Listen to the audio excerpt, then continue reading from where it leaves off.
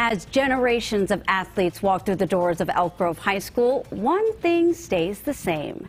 Thanks for staying with us at 5:30. I'm Marlee Ginter. And I'm Curtis Ming. CBS 13 Sacra Gray met with the announcer for the Thundering Herd. He's been the voice of high school memories for more than four decades.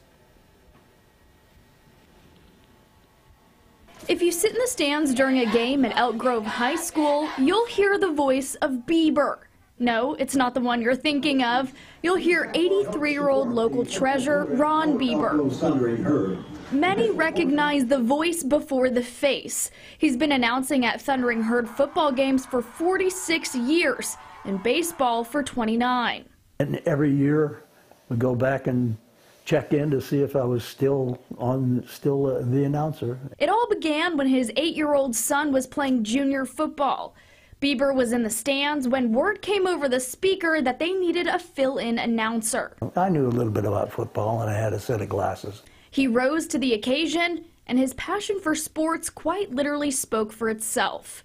Within a week, he caught the attention of Elk Grove High School, and since then, he's been a staple at high school and junior games. He's a constant in a world that keeps on changing. To have grandkids come back and say, hey, you know, it's for my dad and you know, it's for my grandfather.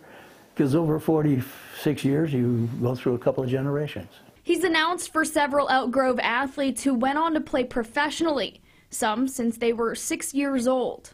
I've had the occasion when they've come back and recognized that, uh, that I was the announcer that did their games. And that's kind of a, kind of a neat reward. As the kids grow up, Bieber watches from the press box, capturing the magic of Friday Night Lights with binoculars and a microphone in hand.